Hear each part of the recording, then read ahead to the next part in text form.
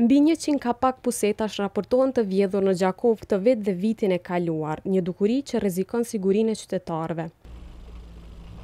Benjamin Morina, nxënës i klasës së parë, nuk e harron natën kur gati ra në një pusetë pa kapak, derisa luante pranë shtëpisë së xhaxhait të tij. Banori gjashtëvjeçar i lagjes Dardania të Gjakovës tregon se e ka shpëtuar një shufër e metaltë e vendosur në mes të pusetës së zbuluar për të mos u lënduar më shumë. Jem kanë tu lu qitu te axha edhe u kanë nata edhe më ka zhut kama kama, edhe qikjo më ka pështu e më tu kanë vi e më ka bu shtu më ka vro atëherë masanej Më kanë çu në spital dhe heku më ka shë në shkja. Edhe qatë, më ka ra guma e bicikles, edhe më ka një shtët, edhe më ka që vëllon në shtët, e më gjumë me krysh. Këtu.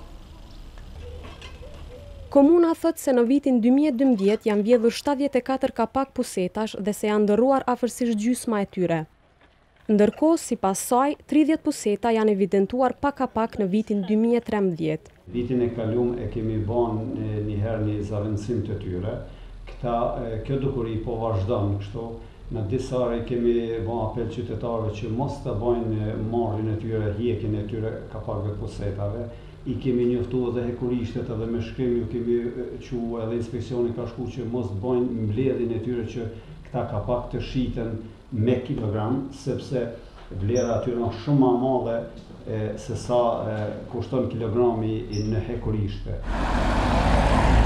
Komandanti i stacionit policor në Gjakovë, Krist Gjokaj, thotë se policia është duke hetuar dukurinë e vjedhjes së kapakëve të pusetave, duke bërë edhe arrestimin e disa personave si të dyshimtë lidhur me këtë dukuri. Ne kemi arrestu disa dyshime që i kemi lidhur me këtë dukuri, e jemi tu vepru konkretisht me ta, janë ka bashkëpunojnë shumë mirë me ne, kemi pista konkrete rreth tyre dhe besoj që shumë shpejt do dalim edhe me rezultate të arrestumit e tjerë konkretisht lidhur me këto raste. Zëdhënësi i Policisë së Kosovës, Baki Kelani, i tha gazetës se raste të vjedhjes së kapakëve të pusetave ka pasur në gjithë Kosovën dhe se në të gjitha rastet Policia e Kosovës ka ndërmarrë të gjitha veprimet për hetimin dhe trajtimin e këtyre rasteve.